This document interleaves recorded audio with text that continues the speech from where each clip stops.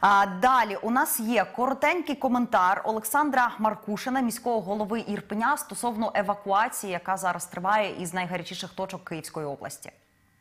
Друзі, сьогодні 9 березня. Сьогодні в нас є зелений коридор.